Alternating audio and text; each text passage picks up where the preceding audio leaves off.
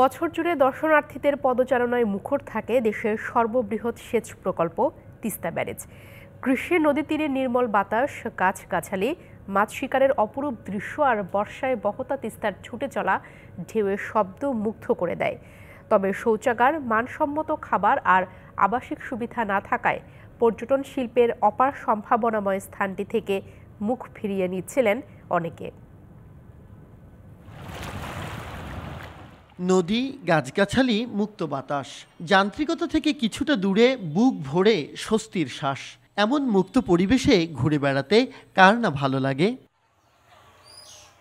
লালমনিরহাটের হাতিবন্ধার তিস্তা ব্যারেজ দর্শনার্থীদের আকর্ষিত করে বছর জুড়ে। এই পরিবেশটার জন্য আর কি সবাই এখানে আসে। এখানে একটা ভালো লাগার মতো একটা জায়গা এখানে। যখন সূর্যটা পড়ে যায় তখন তো দেখার মতো। আসলে এটা আমি ভাষায় বুঝাতে পারব না। মাইন্ডটা ফ্রেশ করার জন্য মাঝে মাঝে এরকম জায়গায় ঘুরলে খারাপ হয় না। পর্যটন কেন্দ্র ও পিকনিক স্পট না হলেও ব্যারেজকে ঘিরে বনভোজন বিভিন্ন আয়োজন জানান দেয় পর্যটন শিল্পের। তবে নানা সংকটে পাল্টে যায় পরিস্থিতি।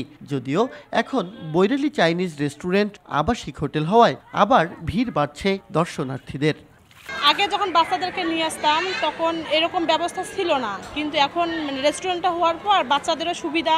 মানসম্মত খাবার খাওয়ার জায়গা পেয়েছি প্লাস টয়লেটের ব্যবস্থা হয়েছে, যার কারণে আমরা ফ্যামিলি মানুষজন নিয়ে এসে সুন্দরভাবে ঘোরাফেরা করে যেতে পারি, তিস্তার ঐতিহ্যবাহী বৈরালী মাছের নামকরণে রেস্টুরেন্ট ও আবাসিক হোটেল গড়ে তুলেছেন স্থানীয় এগারো জন উদ্যোক্তা। যেখানে কর্মসংস্থানের ব্যবস্থা হয়েছে, অন্তত ত্রিশ জনের পাশাপাশি সমৃদ্ধি এনেছে এলাকার। ব্যারাজকে ঘিরে পর্যটনের এলাকা সম্ভাবনা রয়েছে। এখানে একদিকে যেমন মানুষের কর্মসংস্থান ব্যবস্থা হবে অপরদিকে দর্শনার্থীদের একটু সুবিধা, সেবা দিতে পারব। তিস্তা ব্যারেজকে ঘিরে সরকারি বেসরকারি পর্যায়ে আরও হোটেল, রেস্টুরেন্ট, রিসোর্ট গড়ে উঠলে লালমনিরহাট ও নীলফামারী জেলার সমৃদ্ধির পাশাপাশি দারুণ ভূমিকা রাখবে দেশের পর্যটন খাতে। এমনটি ধারণা স্থানীয়দের। Majed Masud, DBC news, Dalia, Nilphamari. ঢালাইয়ের সেরা প্রিমিয়ার সিমেন্ট।